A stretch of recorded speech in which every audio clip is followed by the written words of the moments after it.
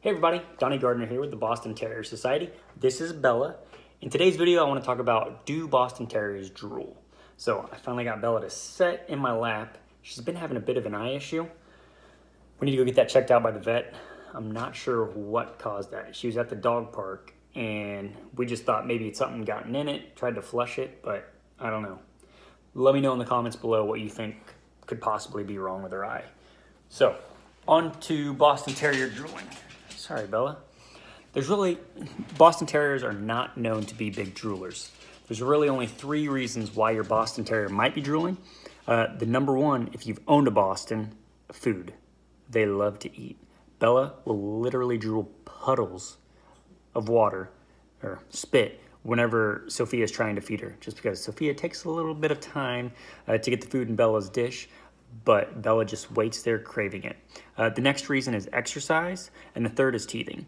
So before we get into all that, here's a quick video of Bella drooling just because she sees food. Sophia, you're gonna feed Bella? Or just mess with her?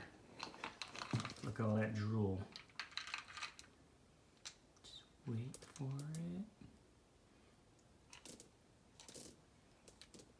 Now, as far as exercise, just like any dog, if they're outside running around, they're gonna need to try to cool down their body, and they're gonna do that just with excessive panting, which is gonna cause drooling.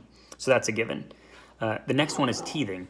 Of course, whenever their baby teeth are falling out and everything, it's gonna cause, just like a, a little child, it's gonna cause excessive drooling as those new teeth come in. Really, there's only six things that you should be concerned about as far as excessive drooling. Um, in the article that I wrote on Boston Terrier Society, I just highlight these six. So broken and bad teeth, some type of object in their mouth, poison, poison ingestion, heat stroke, liver or kidney disease, and rabies. Rabies being my favorite. So that was a joke. Broken or bad teeth. This actually happened to us whenever Bella was about five years old. We used to keep her in a cage whenever we'd leave to go to work. Um, at first, it was a cloth cage or crate, but the problem is she escaped the cloth one. Then we thought we'd be smart and get a metal one. The only issue was she fought and clawed to get out of that metal one to the point where she actually was missing some of her teeth. And we didn't know this for a while um, until we saw little teeth on the ground. But some of those teeth, it basically caused her gums to become inflamed and she was just drooling excessively. Um, we went to the vet to get her checked out and everything. The vet gave her some medication. I mean, it was five years ago, so I don't remember what the medication was. But about after a day or so, the drooling went away. My guess is just from the inflammation just, you know, subsiding and going away. So bad teeth could be one reason, and you might need to get that checked out. So another another reason, object stuck in the mouth. You know, your body is naturally trying to secrete things to get that object out. So that's another reason.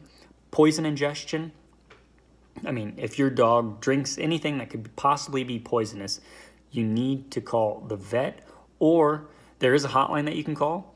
Um, it's actually ran by the American Society for Prevention of Cruelty to Animals. Uh, this number, I would definitely write this down. It is 888-426-4435.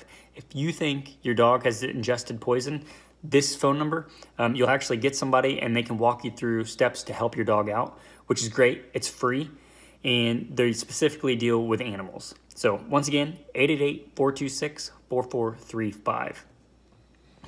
Uh, the next issue could be possibly a heat stroke. You know, whenever dogs get overheated, how do they cool themselves? The panting, and if it's gone too far, so, you know, exercise, that's a natural way for your dogs to have that excessive drooling. But if it's gone to the point where they're almost feeling kind of woozy walking around, that could be a sign of heat stroke. And they have that excessive foaming of the mouth, drooling. So you want to be careful with that. And one of the last ones, rabies. The chances of your Boston Terrier getting rabies is slim to none. I mean, it's only going to happen to animals that are really outside, and Bostons are not outdoor animals. So those are the six things. Uh, liver and kidney disease, I put that on there. I, I found it on vetstreet.com. I honestly don't know enough about liver or kidney disease, but that could be one of the issues. So drooling could be a sign of serious medical issues that you want to talk to a vet. But if you think the drooling's due to food, exercise, or you know just being a puppy teething, you're safe.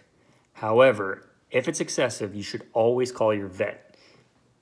When in doubt, call your vet.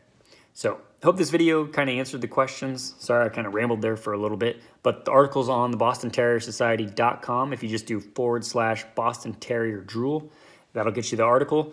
And hope you like this video. If you want more videos like this about Boston Terriers, go ahead and click subscribe and more videos will be coming out. Um, I've also been putting on podcasts. So I have a podcast. If you just Google Boston Terrier Society podcast, you'll be able to find it. And I interview different people. I try to do one for sure once a month. Um, the last person I had on, uh, she's actually a masseuse and she massages dogs for a living.